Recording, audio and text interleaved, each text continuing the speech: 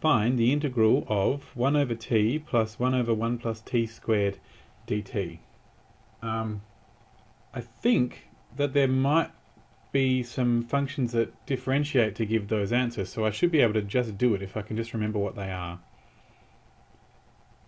Yes, the derivative of ln x is 1 over x, and the derivative of arc tan x is 1 over 1 plus x squared. So I reckon I can just do it.